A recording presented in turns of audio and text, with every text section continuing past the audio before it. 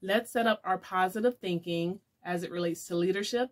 Welcome to our We Can Wednesdays brought to you by Simply Unique Coaching. And today we're going to focus on our positive affirmations for leaders. Repeat after me. As a leader, I am able to inspire others to become a better version of themselves. I take my responsibility as a leader seriously, and I am grateful to have that responsibility to help lead others into their own greatness. I bring order to chaotic situations, and I help leave places better than the way that I found them. People enjoy working for me and with me. Thanks, guys. Make it a great day, and I'll see you on tomorrow's Tough Truth Thursday.